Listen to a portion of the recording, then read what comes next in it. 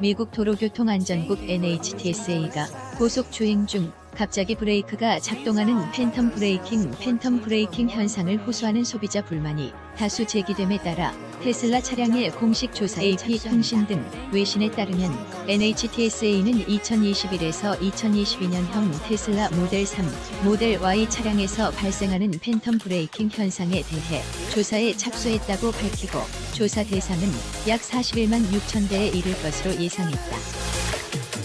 NHTSA 보고서에는 지난 9개월 동안 해당 내용으로 접수된 소비자 불만이 354건에 이르는 것으로 조사되고 이들은 모두 갑작스런 급제동이 사전 경고 없이 발생하고 주기적 NHTSA의 모든 조사가 공식 리콜로 연결되지는 않지만 소비자 불만이 유효하고 자동차 제조사가 구제책을 제공할 의무가 있다고 판단될 경우 리콜의 첫 번째 단계가 될 수 있다는 게 현지 언론의 평가다.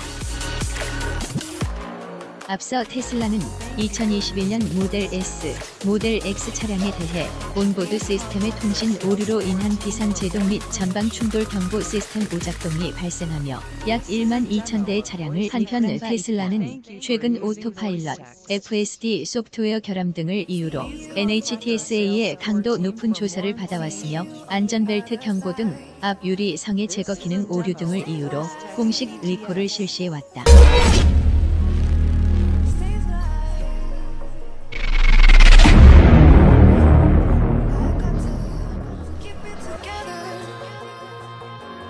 keep it together.